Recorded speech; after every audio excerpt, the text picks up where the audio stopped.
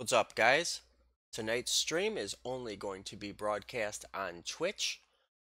Come on over and join me for some more Seven Days to Die with Tremble. And I'll see you guys over there.